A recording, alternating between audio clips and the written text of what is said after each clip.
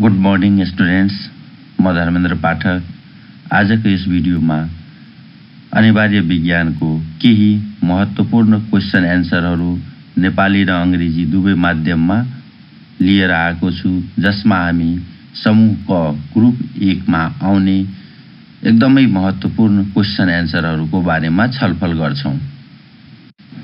पहिलो क्वेसन रहेको छ ए वस्तुका तौल निकाल्ने सूत्र लेख्नुहोस्। Write the formula to find the weight of an object यसको एन्सर रहेको छ formula to find the weight is W equal to m into g वस्तुको तौल निकाल्ने सूत्र W equal to m into g next question रहेको छ B आर्कमेडिजका सिद्धान्त लेख्नुहोस्। स्टेट आर्कमेडिज प्रिन्सिपल यसको एन्सर रहेको छ when an object is fully or partially immersed in liquid then upthrust acted on it is equal to the weight of displaced liquid कुनै वस्तुलाई आंशिक वा पूर्ण रूपले तरल पदार्थमा डुबाउँदा विस्थापित हुने तरलको तौल बराबरको ऊर्ध्वचाप तरल पदार्थले वस्तुमा दिन्छ।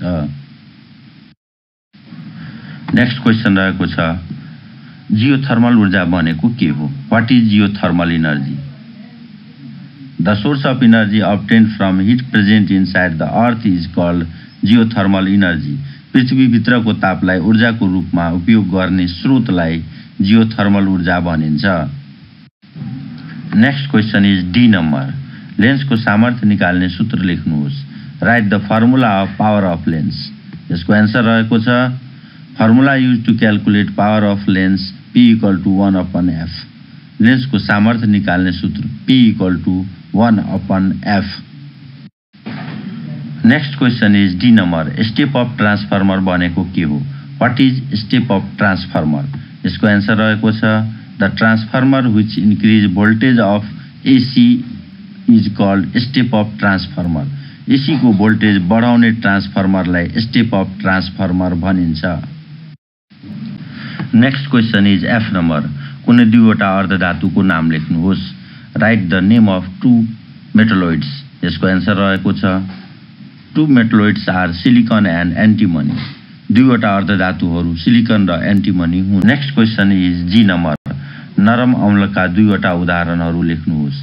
Write two examples of weak acid. यसको एन्सर रहेको छ weak acids are carbonic acid and formic acid. नरम अम्लहरू कार्बनिक अम्ल र फर्मिक अम्ल हो। Next question is H number. तामाको परमाणविक सङ्ख्या र परमाणविक भार लेख्नुहोस्।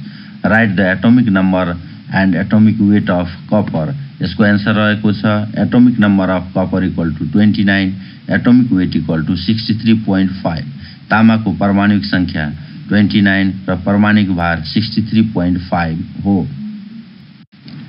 Next question is I number concrete भनेको के हो? वाट इज कङ्क्रिट यसको एन्सर रहेको छ the mixture of cement sand gravel and water is called concrete cement बालुवा कङ्कड र पानीको मिश्रणलाई कङ्क्रिट भनिन्छ।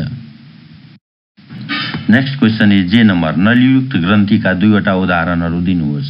Give two examples of exocrine gland यसको एन्सर रहेको छ two examples of exocrine glands are salivary gland and tear glands नलियुक्त ग्रन्थीका उदाहरणहरू ऱ्याल ग्रन्थी र अश्रु ग्रन्थी हो।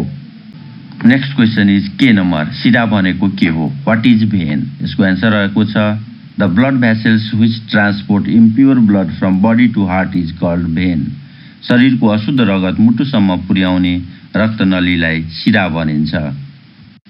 Next question is L number? Sex क्रोमोजोमको मुख्य काम कुन हो?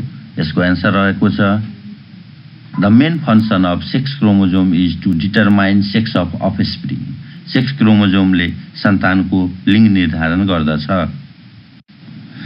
Next question is M number बाह्य गर्भाधान हुने कुनै दुई प्राणीको नाम लेख्नुहोस्।